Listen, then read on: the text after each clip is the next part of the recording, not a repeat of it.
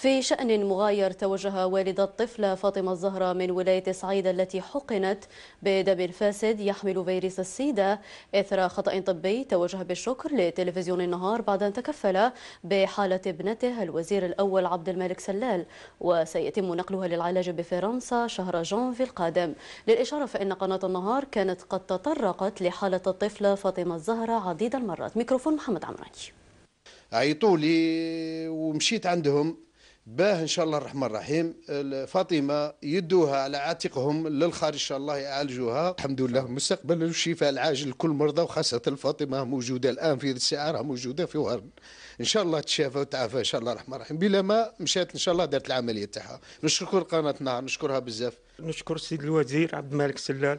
والله خبر يفرح جابنا. أقسم لك بالله خبر يفرح الحمد لله. ونشكر قناة النهار أه وقفت معنا بزاف نشكرها بالبزاف. والله أه الحمد لله. الحمد لله على هادشي اللي دارت قناه النهار وقنوات الأخرين. وقفوا معنا أه وقفة مليحة.